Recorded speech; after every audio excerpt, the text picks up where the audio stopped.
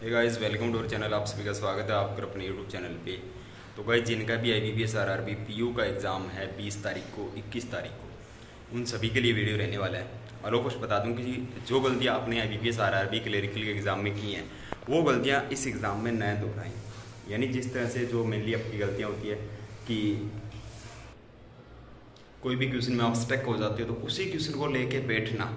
क्योंकि उसकी वजह से जितना टाइम आपका ख़राब होता है तो बाकी का जो इजी वाला पोर्सन होता है, वो आप अटैम्प्ट ही नहीं कर पाते।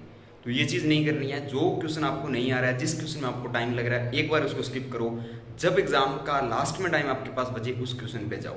ये बहुत सारे कैंडिडेट के साथ हुआ, जिनकी अच्छी तैयारी है, वो कहीं ना कहीं इस चीज़ में फंसे हैं। तो आप सभी के लिए एडवाइज है कि ऐसा ना करें। कोई भी अगर ऐसा क्वेश्चन आता है तो उसको आप लोग एक बार के लिए स्किप कर दें और लास्ट में जब टाइम बचे तो उस क्वेश्चन को देख लो। क्योंकि उस चक उस क्वेश्चन के चक्कर में जो बाकी ईजी वाले क्वेश्चन है, वो भी छूट जाते हैं। तो ये गलती ना करें।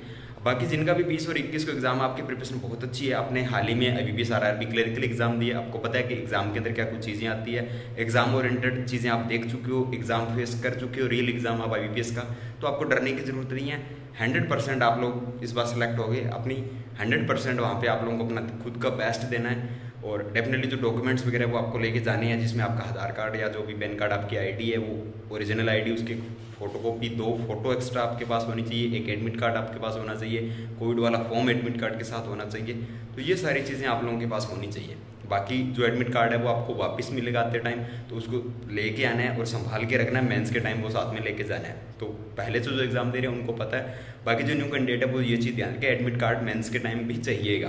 तो इसलिए एडमिट कार्ड संभाल के रखें। बाकी जो भी सेक्शन आप लोग मॉक टेस्ट में पहले अटैम्प्ट करते हो, जैसे रीजनिंग अटैम्प्ट कर रहे हो या मैथ्स अटैम्प्ट कर रहे हो तो उसी के अकॉर्डिंग जैसे आप ये सोचना कि एग्ज़ाम अपना एक मॉक टेस्ट है, यानी अपने मॉक टेस्ट डेली देते हैं, उसी तरह से एग्ज़ाम को आप लोग अटैम्प्ट करना ये नहीं है कि मैथ्स हार्ड आ रही है तो मैं पहले रीजनिंग कर लेता हूँ।